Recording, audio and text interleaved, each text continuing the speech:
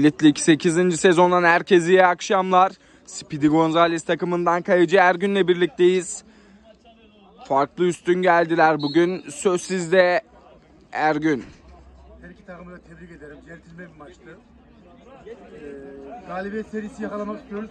İnşallah olacak.